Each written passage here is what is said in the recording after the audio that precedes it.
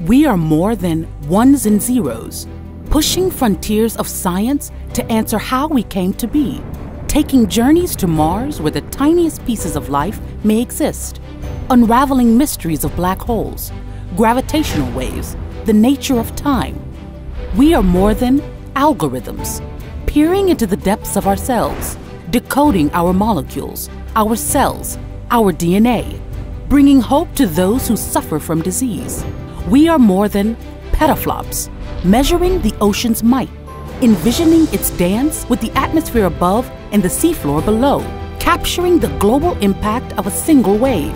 Collaborators, colleagues, and friends, we are connected by a common thread the determination to make positive change. We are more than HPC.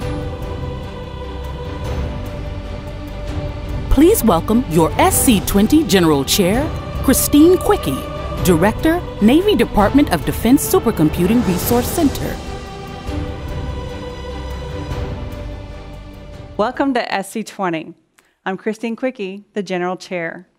On behalf of the IEEE Computer Society, the Association for Computing Machinery, and the SC20 Planning Committee, we're thrilled that you'll be joining us on our virtual journey into what makes us more than HPC. While we're presenting this conference in a different format this year, we've worked really hard to ensure that it resembles previous SC conferences as much as possible. This new environment has also enabled us to bring SC20 to places and people that we've never before reached. To these newcomers, I extend a special welcome.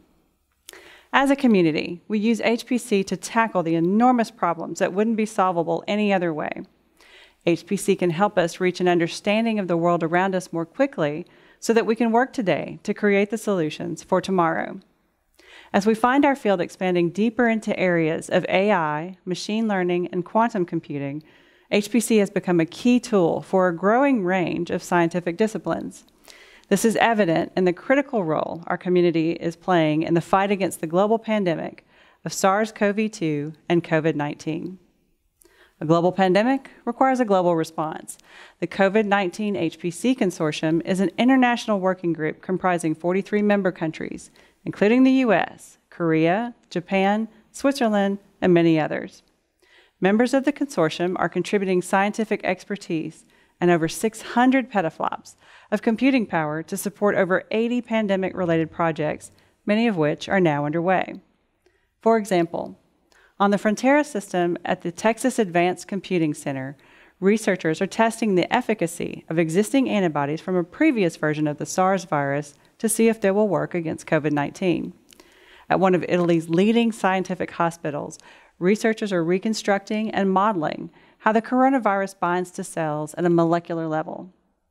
On Summit at Oak Ridge National Lab, a team is using a machine learning classifier to predict coronavirus gene expression patterns for more than 700,000 combinations of existing drugs. And researchers at universities in the United States and Brazil are using HPC to perform social interaction analytics to improve contact tracing methods and better inform policy decisions. Promising to deliver compelling insight into the role of HPC in the ongoing pandemic, our More Than HPC plenary panel will dig deeper into the use of AI, the Internet of Things, and data analysis to understand and combat the coronavirus. Exhibits are still a central part of our conference. Nearly 300 exhibitors from over two dozen countries are featured in our virtual exhibits hall, and you can find them on the Exhibits tab on our website and app. They've worked hard to create experiences that will engage and educate us in this new format. Please join me in thanking our champion level exhibitors who have helped make SC20 a success. SC20 has brought the state of the practice to the forefront for those who work steadfastly behind the scenes to design, build, and run HPC centers and the infrastructure that supports them. These professionals have a wealth of knowledge to share, but few opportunities to reach fellow practitioners directly. To bridge the gap, the conference features dedicated talks to discuss practical, up to the minute improvements in areas such as HPC training, security, software provisioning, and data management. This year's technical program offers the full complement of content that is the backbone of this conference, including papers, panels, posters, birds of a feather, tutorials, and workshops. In addition, a wonderfully strong program of invited speakers will address topics ranging from analytics that inform strategic decisions to assure the survival of threatened species to the responsible application of HPC. For 30 years, the heartbeat of the SC Conference has been the SCinet team and their marvelous feat of engineering, building what becomes the world's fastest network for the duration of the conference. While events have precluded this year's network build, SCinet is creating virtual testbeds to highlight emerging network technologies and has featured this work in several presentations in their program. As part of our continued attention to inclusivity and diversity, SC20 has developed the HPC in the City program. The Student Hackathon is bringing together a diverse group of Atlanta area students, educators, and civic leaders to demonstrate firsthand how HPC can address local challenges such as social justice issues. Students at SC continues to be a vibrant and crucial part of the SC conference. Our new HPC immersion program gives undergraduate students who are traditionally underrepresented in HPC and related fields the opportunity to experience the conference while guided by world class mentors. We have transformed the student cluster competition into a fully virtual experience, giving an unprecedented number of teams the opportunity to participate this year. Thanks to sponsorships from our vendor partners, student teams are designing and building virtual clusters in the Microsoft Azure cloud. We've also expanded the job fair this year so that it's not just for students, it's for everyone. Those of you who have contributed to the SC20 technical program, exhibits, SCinet, and students at SC programs have had to put in extra effort this year to help us have a comprehensive conference, and we thank you. We invite you to join us at the awards ceremony at the conclusion of our conference when we'll highlight some of the top accomplishments of our community. Planning the world's largest supercomputing conference isn't an easy task, even in a normal environment. When I was first selected to be the SC20 General Chair three years ago and began forming the conference committee, none of us had any idea we would be planning a conference amidst a global pandemic.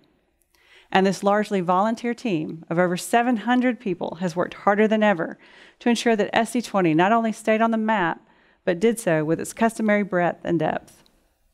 To quote Game of Thrones producer Christopher Newman, all you can do with any large operation is get the best people around you and let them go. These volunteers have given generously of their time and expertise, and without them and our partners, SC20 simply would not have been possible. It has been my deepest honor to work with this incredibly tenacious team. Please join me in thanking our colleagues for their tireless efforts. From COVID 19 to clean transportation, our community is tackling every problem we encounter with determination and speed. Whether we're helping to accelerate the development of new gene therapies or working to understand the very origins of our universe, we're making incredible strides. But that doesn't mean we can rest. We have so much more to do to improve the world around us, and that's why we're more than HPC. In a moment, you'll be hearing from this year's keynote speaker, Dr. Bjorn Stevens, whose study of clouds has contributed greatly to our understanding of climate change. This is of profound interest to me, both professionally and personally. I live on the hurricane prone Gulf Coast of Mississippi, where I lead the Navy DoD Supercomputing Resource Center. So, climate, weather, and ocean modeling have a direct impact on my daily life. Thanks to improvements in observational instruments and computing capabilities, Hurricane forecasting has improved significantly over the past two decades, helping all of us protect property and save lives. For that, I am grateful, and I'm very much looking forward to learning more as Dr. Stevens leads us on a fascinating journey of where we've been and where we need to go in climate research. Professor Bjorn Stevens is a director at the Max Planck Institute for Meteorology since 2008 and a professor at the University of Hamburg. To say Professor Stevens is a man with his head in the clouds is an understatement. That's because he strongly believes that clouds are at the heart of some of the most fascinating questions posed by climate change. And it's why he's recognized as one of the world's leading experts on how atmospheric water, in the form of clouds, shapes our climate. As Professor Stevens explains, massive new sets of observational data analyzed with the power of exascale computing will break barriers for researchers building fundamentally new climate models, giving us resources to investigate the planet at the most granular level. Professor Stevens served as a lead author of Clouds and Aerosols for the fifth assessment report of the Intergovernmental Panel on Climate Change, which informs policymakers as they consider programs to mitigate impacts of climate change. Professor Stevens holds a great number of prestigious honors, among them the Clarence Leroy Meisinger Award of the American Meteorological Society. He held fellowships at the National Center for Atmospheric Research and the Alexander von Humboldt Foundation.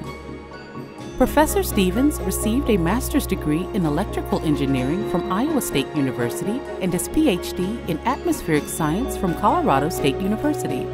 Here to take us through a remarkable journey to the clouds in the era of exascale, please welcome Professor Bjorn Stevens.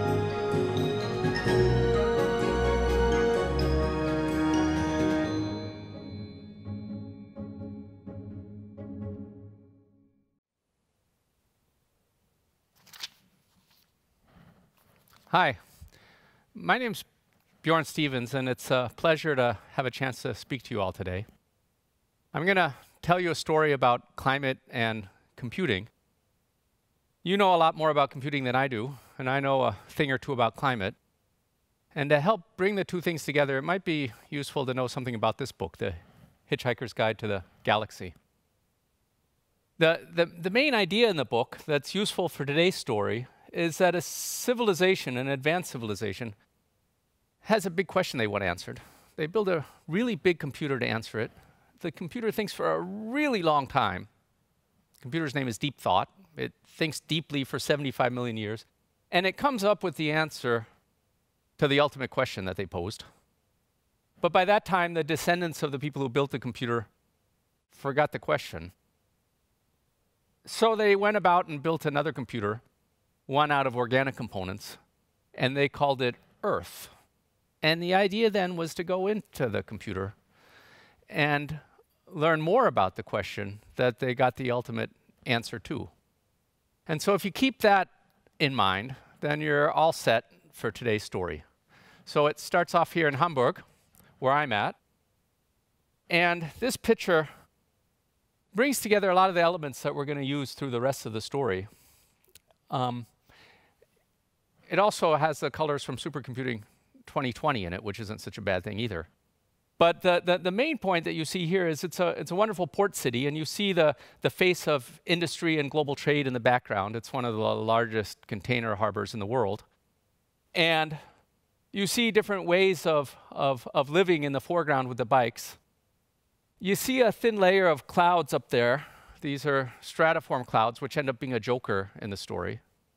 But the elephant in the room is the boulder, this big rock. It's called a glacial erratic in technical terms. In German, you would call it a Findling. And if you go through the North German countryside, you'll find little town after little town has these right in their town square because they're dug out of the fields. And for a long time, people had uh, no idea where they came from. You know, how do you get a giant boulder in the middle of a field? In this case, it was in the middle of the river when they were deepening the river. So, so how does that work? And there was a time where people thought this was from the biblical floods that brought the boulders from somewhere else. But about the middle part of the 19th century, people began to understand that these were carried by the waxing and waning of great ice sheets, which covered the northern European continent. And the fact that these ice sheets waxed and waned across the continent meant that the climate probably wasn't always the same in the past. And that raised a question of how it might have changed. This rock here, it's called the Alte Schwede, the Old Swede. It's called the Alte Schwede because it's been shown to come from a formation of rock in southern Sweden about 400,000 years ago in the Elster glaciation. But the Alte Schwede is kind of a nice name for this because um, it points to another leitmotif of our story, this guy here. Svante Arrhenius. He was a chemist, and in the second half of the 19th century, he was interested in this climate question. And he began thinking, you know, how could this be? How could the Earth be a lot colder or a lot warmer?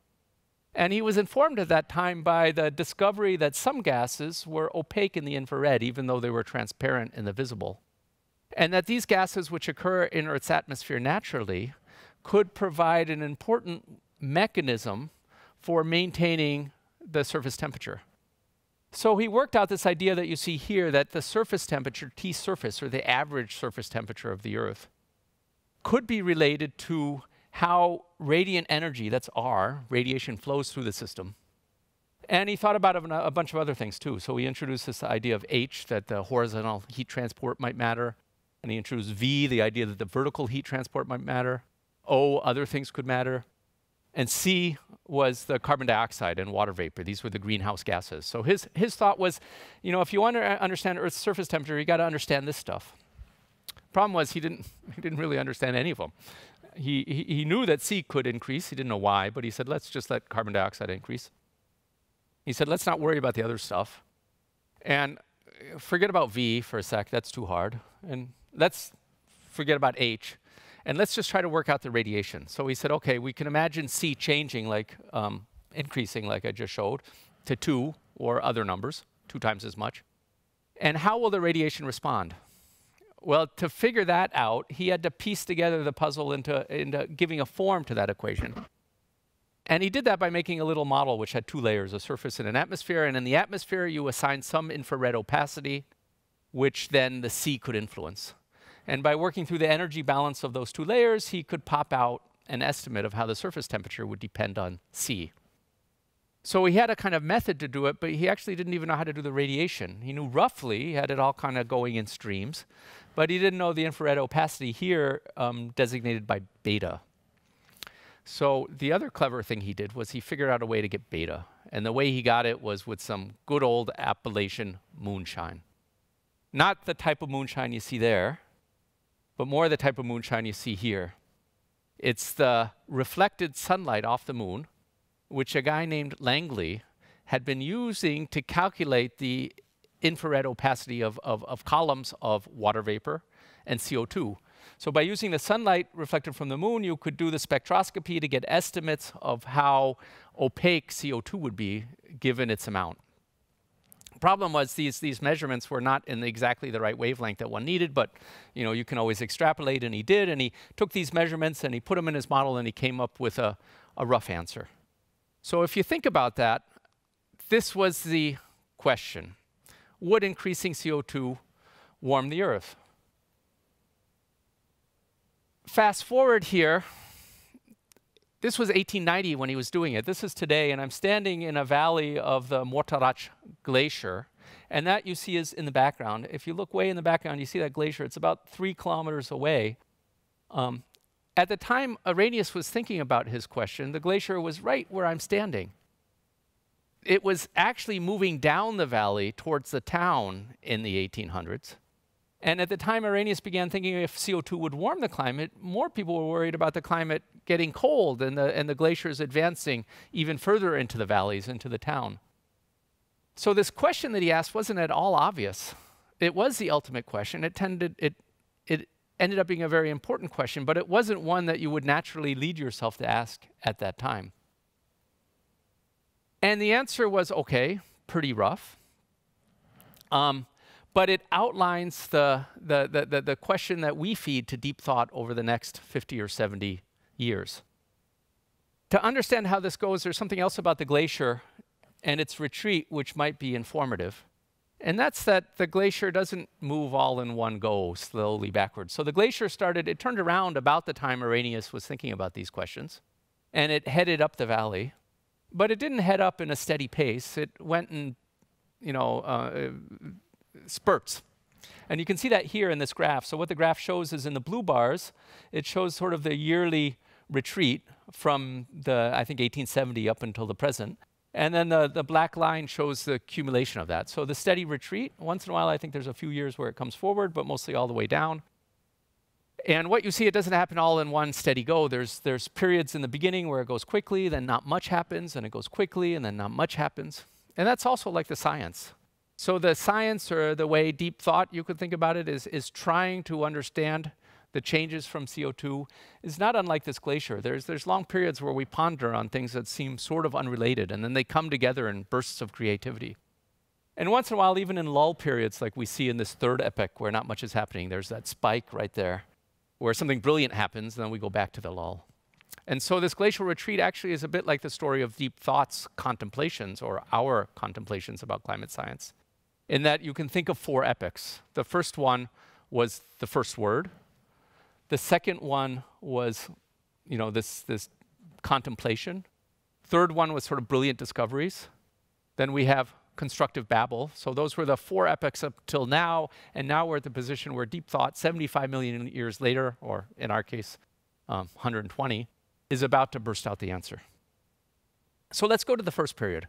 The first period is characterized by about 50 years where people forgot all about the ultimate equation. So they didn't have to wait 75 million years to forget, they forgot right away. No one worried about Arrhenius's paper, Arrhenius, uh, Arrhenius's ruminations. They were busy doing other things, figuring out the weather. But it turned out important. So this guy here, Wilhelm Bjerknes, also in Stockholm at the time, 1906, was trying to figure out the equations you needed to solve to figure out how the weather would evolve. It turns out later in our story, these equations are exactly the ones you need to figure out the H in Arrhenius's question. Another guy had this idea that you could actually compute the equations.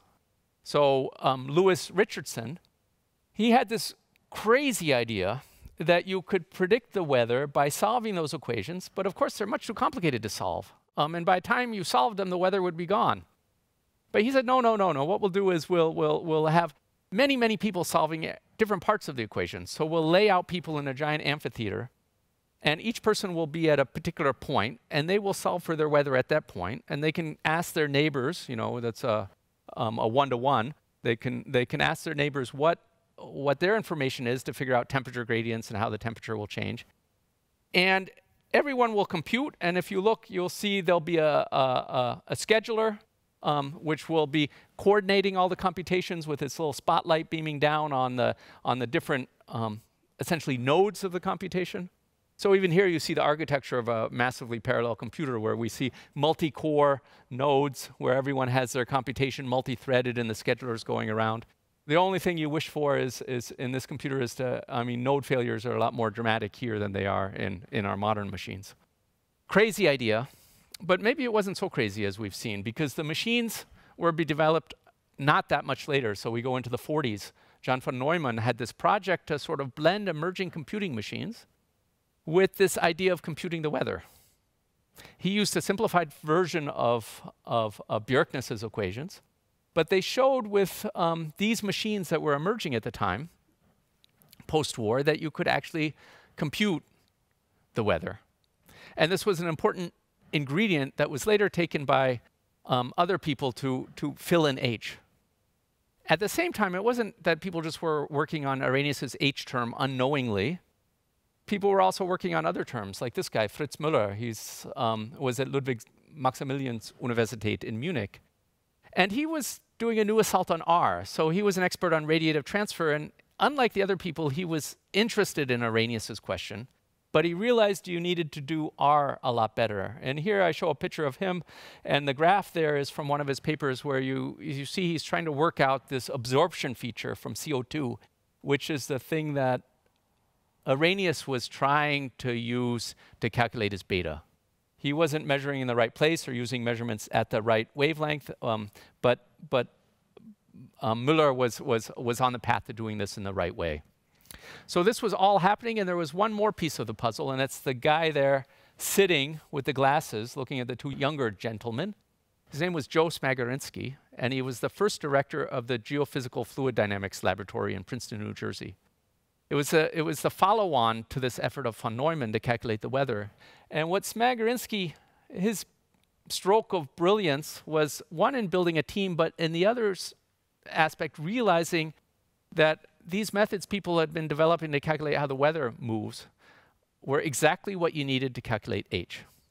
And he put together a lab and the machines that would allow you to build circulation models of the whole Earth that would allow you to calculate the H term. So that got us through this grand contemplation of the, of the glacier retreating, and it takes us to about 1965. Not much had happened. The glacier had been retreating.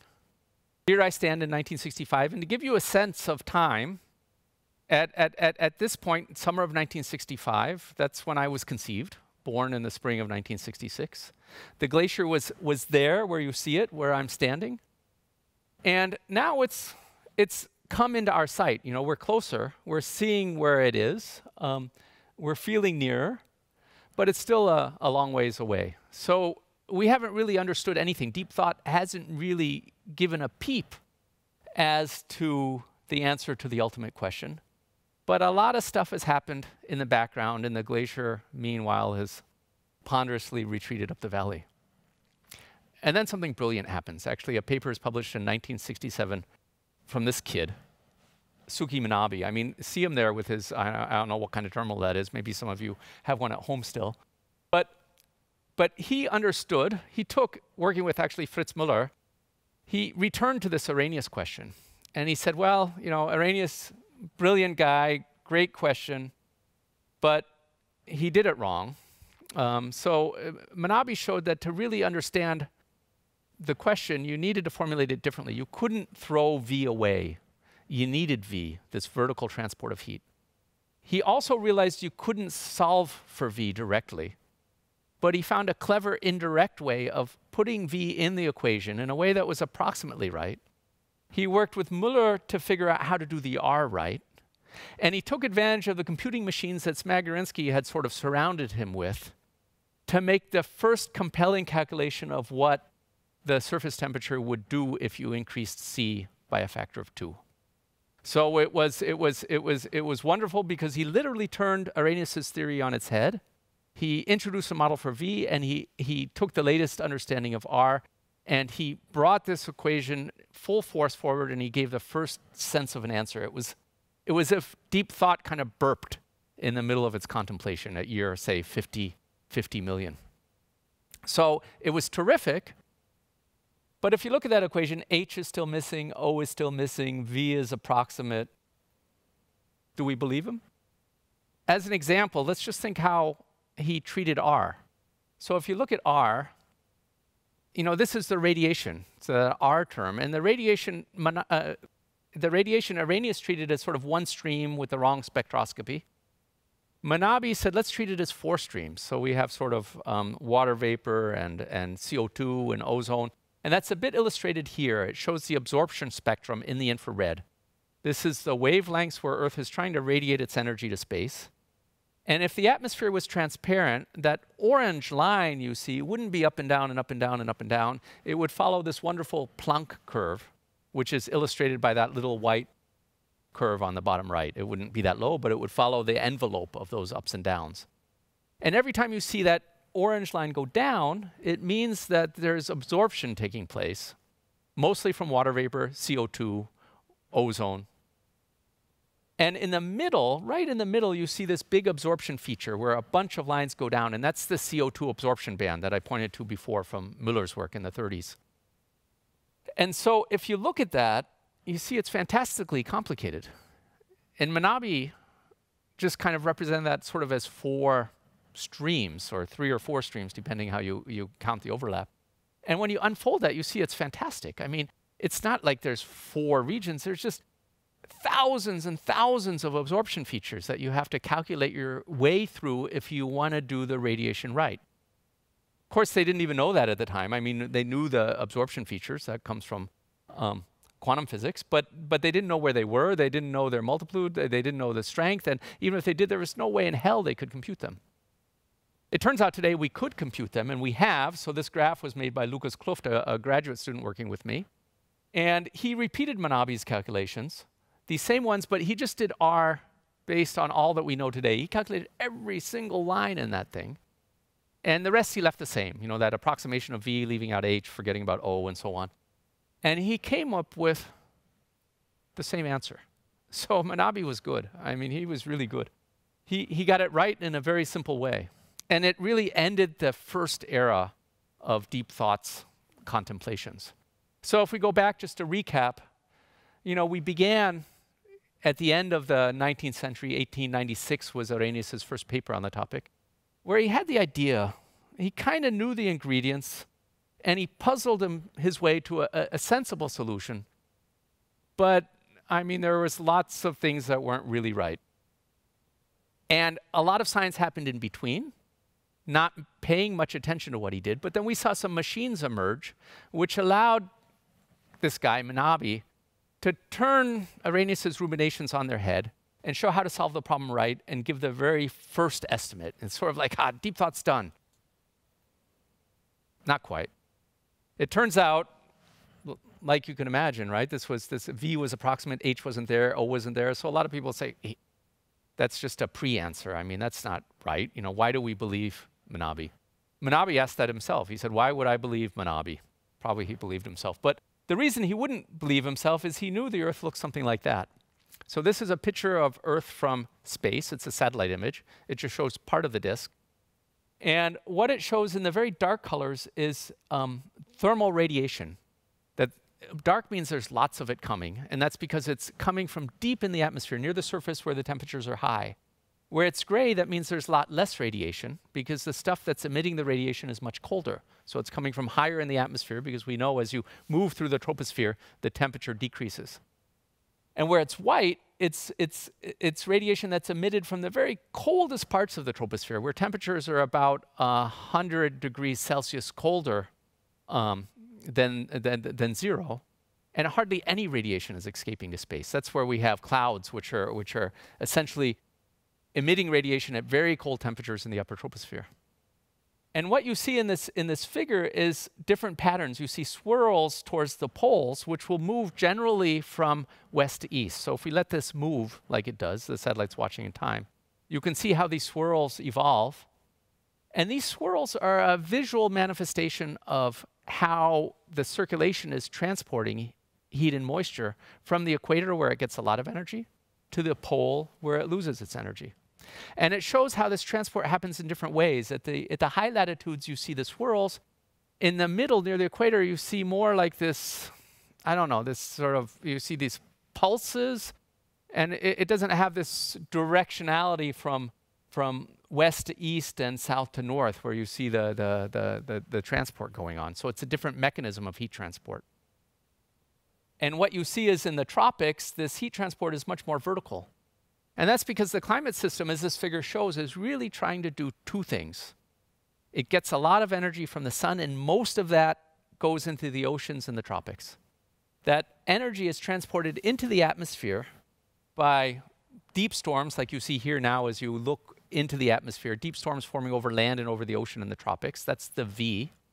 And it's transported to the poles by the H, this horizontal heat transport. So Manabe's calculation had none of that really. It had a, a crude trick to calculate what the V is doing, and it had none of the H. So there's lots of ways other than R being wrong in which it could be wrong. And he realized that, so he, he said, we need to couple this to the bigger problem. Him and his boss, Joe Smagorinsky, um, all along they had the idea is let's put this into a circulation model of the type that was calculating the weather. And that would allow us to evaluate whether H makes a difference. And so they made models that look kind of like this. And here the color skating's similar. There's some purples there, which is um, rain. But again, the black is where the atmosphere is very dry or um, very transparent and, and lots of energy is coming out of the system and going to space. And white is areas where the, the part of the atmosphere which is radiating energy is, is very high in the atmosphere and very cold. And you see these systems moving in the extratropics at the high latitudes, at the latitudes of North America or Europe moving from west to east. And the same thing in the southern hemisphere, you see them moving from west to east. And then they're kind of blinking spastically in the tropics. And that's because the circulation model can do the H okay on these scales, but it really doesn't have a clue about V other than to use that, let's call it the trick or the cleverness of Manabe to, to indirectly represent the V. So when you do this calculation, it, it, it, you, you end up more or less getting the same answer as he did with the simpler one, where he neglected H. And so what, what this does is it brings us to um, another milestone around the year 1980, 1979 to be precise. And here I am in 1979 in the, in the life of our glacier. We're kind of narrowing in on it. It's still retreating on us. It left this big stone for us to remind us of the Alte Schwede. Um, but here we are in 1979, getting close to where we want to be, you know, asking the glacier the meaning of the universe or why it's going um, away. we're close to where we want to be, and it's, it's, it's a milestone year because we've, we've rediscovered Arrhenius's question, and we've worked out a pretty good semblance of an answer. We've got H, we've got R. Okay, V is a problem, and we don't know so much about O. And this was sort of a capstone of this was this wonderful report called the Charney Report, written in 1979, very short, easy to read, beautiful report, which summarized the knowledge at that time and the observation that CO2 was increasing to make the first sort of formal statement about what deep thought might eventually give us when it was ready to give us the answer. So 1979, great report, most elements of the answer. And at this point, you could say, well, you know, we're, we're mostly done, and there's reasons I'll get to in a few minutes, which would lead us to expect that we're not going to get much better than what was written down in this report. But, but one thing did happen. So we're now entering this, I think it was the third phase in that, in that, that chronology I, I, I gave you, this, this period of constructive babble that I referred to. We had tools that allowed us to calculate how the circulation H connected to the radiation. We couldn't really deal with V. We hadn't really thought too much about O, but we had a good sense of the question and we had a rough idea of the answer. You know, doubling CO2 would lead the Earth to be, according to this report, it would be one and a half to four and a half degrees warmer. So in this period of constructive babble, there was this one genius stroke. Um, as I remember that diagram where I showed the glacier receding year by year, and in this third epoch, not much happened, but there was this one excursion. This guy is kind of like that excursion, this erratic excursion. He's, he's someone um, from Hamburg, actually. He, for a long time, he was the founding director of my institute. Um, he's retired now, goes often for walks not so far away from the Alte Schwede. But what he did when he was back um, a younger man was he realized that it's not enough to know that the Earth should warm when there's CO2. We should be able to detect it. And what he did was he worked out two things. He worked out what's our expectation for how the system would behave if there was no warming? What's the natural variability in the system?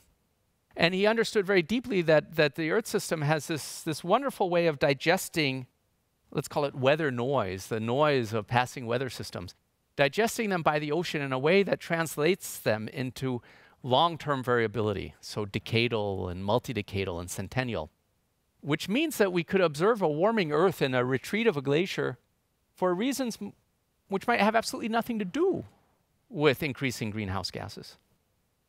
And he went from that realization to also realizing that if the warming that we're observing is from CO2, it might have a signature that looks different than the signature of natural variability. And he set out with a team to build models that you could put on computers like this one. I think that's the one they used eventually. That you could put on computers like this Cray 2S to actually work out how the fingerprint of warming might differ from the signature of natural variability. And ask the question, can we detect the warming from observations? And lo and behold, he could. And so this was the very first detection to say that not only was Manabe particularly clever, but the ideas he developed allowed us to say that the warming we observe isn't natural variability. It's not the effect of the sun. It's from increasing greenhouse gases. So that was a, a masterstroke. But other, otherwise, in this period of, of a constructive, constructive babble, I would say, you know, mostly people just tried to make the models like I showed before, that black and white one, a bit more colorful with a bit more uh, resolution. And, and that's sort of shown here. This is a, the type of model that leading climate centers around the world use today to make these climate projections. They're not really different from what Manabe was doing in any structurally important way. They've got lots and lots and lots more bells and whistles. So you could think of this positively as that people have been fiddling with this O term. They've been adding, you know, other things into the system to see if it really changes the picture. And what you realize is it doesn't change the picture.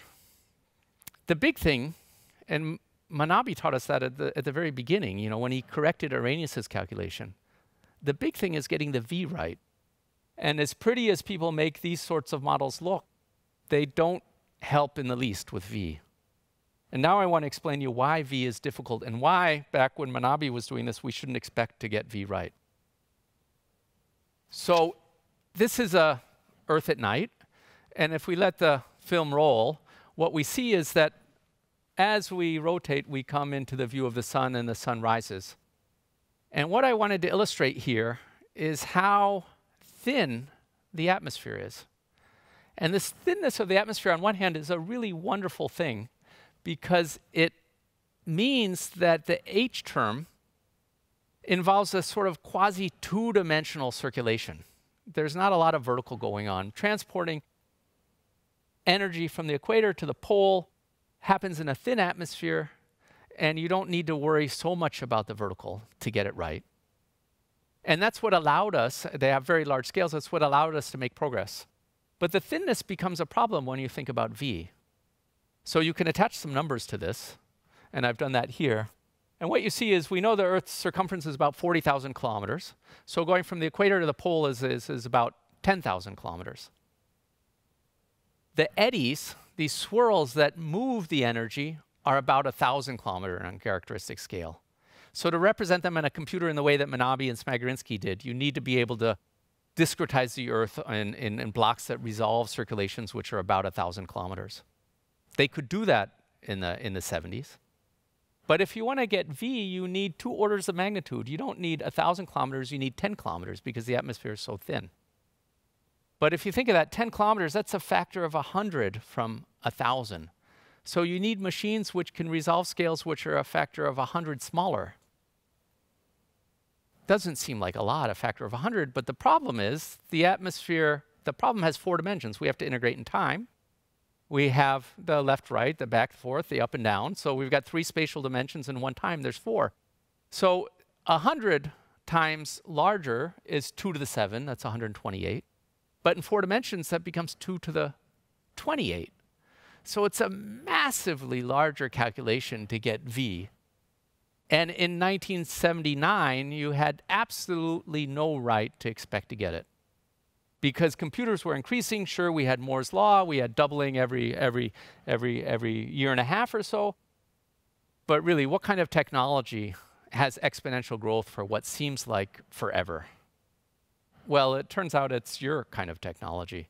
So if you go back to 1965 when Manabe was doing, uh, doing, doing his calculations and you look, you know, it's fantastic. We've seen this, this doubling of, of computational capacity going on and on and on and on. Nothing, nothing does this. This shouldn't happen. Think of any other technology that goes, you know, exponential growth is no big deal. That happens all the time for a short period of time. But having exponential growth that goes on forever and ever and ever like this, 50 years, is just crazy. So you could ask yourself, well, in retrospect, we had half a century of doublings. Maybe we should go back and ask ourselves, maybe V isn't so impossible after all. What do we need? Well, we need 28 doublings we just calculated. How long do we have to wait for a doubling? One and a half years. So one and a half times 28 is 28, half 28 is 14. 28 plus 14 is um, 42. So that's the ultimate answer. That's how long we have to wait between getting H and getting V. When do we have H? 1979. So when should we get V? 79, 42, 21. Practically tomorrow. And that's where we're at. We're at the, the, the, the edge of the glacier, almost ready for deep thought to spurt out its answer. We just got to get this last little bit. And we have the tools to calculate V, and I'm going to show you the ingredients. We're not there yet. You've got some work to do. But the tools we have, first on a regional scale, this is an example where we use a 150 meter model. And it shows, the, the, the it, it visualizes for you how this vertical transport works in the form of storms, which take moisture and energy from the surface and up deep in the atmosphere where it's colder and it's radiated away. And it shows you how you can also represent the clouds, even these thin layers of clouds, which you see here, which look a bit like that original picture of the Alte Schwede, the stone and the dock and the, and, the, and, the, and the thin clouds that I showed at the beginning. So if we let that run forward in time, what you see is how they, you know, pumps energy through the atmosphere. And we're going to unfold this because the trick is, is to take calculations like this, which were done on the scale of Germany. Here we're looking at them from the, here we're looking at them from the top. We'll look at calculations like this and we'll unfold that and we have to do this globally. So we can't do it now. Here I'm doing it graphically. I'm visualizing for you how we go from the scales we want to solve to the global scales. And I'm showing you how close we're getting. So this is where we go to the global scales, not quite at the fine scale that we want, but not far, and close enough to see what we need to do to get there and that we're going to get there. So these calculations here, now we're, we're running globally on some of the biggest machines we have available in Europe. And it allows us to outline how far we are from that tip of the glacier to get the ultimate answer from the ultimate machine, which you guys are building.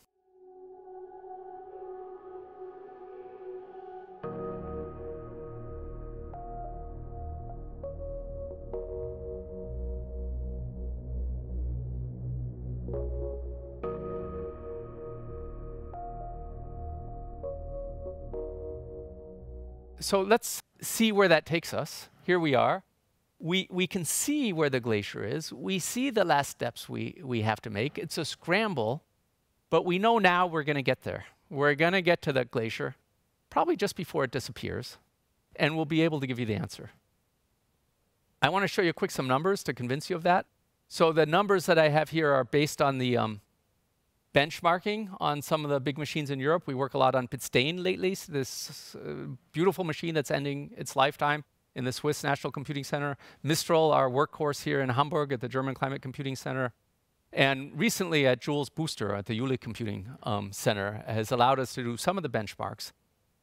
And what we try to calculate is throughput. You know, to do the calculation, what we need is to be able to simulate a certain number of days per day to be useful. So if we can't simulate tomorrow before it arrives, then why bother?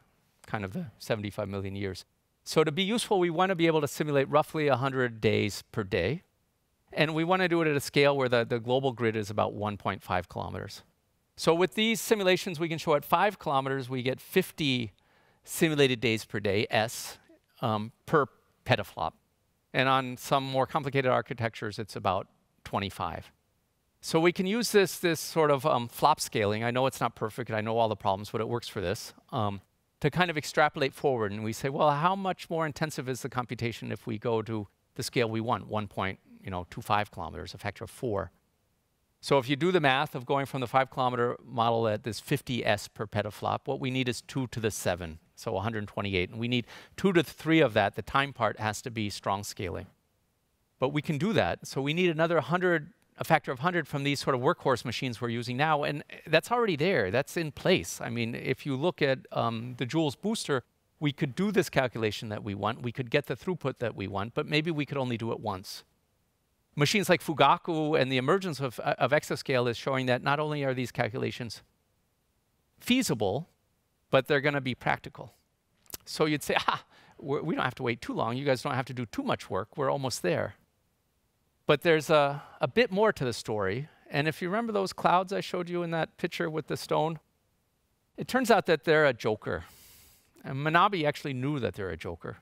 The problem is maybe the clouds don't stay constant. They might increase or decrease as the planet warms. So it's not just a question of working out V, you got to work out what happens to these thin little clouds. And with a one and a half kilometer model, that might not get you there. But here, even here, we're so close to the glacier, and that's why it's a scramble. I think we can get there. We can get there, we need another factor of 10 in space. But by being clever, we don't need the throughput of S of 100. We can do short simulations that are time sliced from these coarser simulations. And we can work out if the clouds really are a joker. And that's what's outlined in the, in the rest of the numbers there. And it tells you how far away. But if we get an exaflop machine with the sort of performance characteristics of the machines we have now, or a multi-exaflop machine will be even able to work out the joker, the clouds. So there's a real chance that we can, we, we, we, we can solve this problem. And that brings us to the end of deep thought. So deep thought gets us to the point where we can compute, compute, compute, compute, and we're almost there. Exascale will get us there to get the, the, the final answer. The problem is it gets us to the glacier. And what's it tell us? We've gone all the way up the valley. We get to the glacier to tell you, according to my calculations, the glacier should be gone. And the glacier's gone. It's a bit like forgetting what the question was that we were asking in the beginning. But here's where Earth comes in. In building this machine to provide the ultimate answer to the ultimate question, we're going to be able to do so much more. And here I want to illustrate that because maybe it's not so relevant to tell you that the glacier is gone when it's gone. But did it go because of CO2 in the atmosphere, or was that part of natural variability? Or here, if we look at this picture, this is September 10th of this year, and California is burning. You can see the smoke. I mean, many of you know this better than I do. Was that climate change? Or was it just bad luck? Four days later, the Atlantic. It looks like the Van Gogh, the, the, the, the starry night picture, because you see swirl after swirl after swirl. These are hurricanes, tropical storms, and pre tropical storms and tropical depressions. There's eight of them. Count them one, two, three, four, five, six, seven, eight. Eight of these storms. I, I follow this stuff because I'm a bit of a geek in that way. And then you, you, you, you might see one storm, kind of cool. You look at its eye. You might see two if you're really lucky. Once in a great while, you see three. And here we had eight. Climate change? Who knows?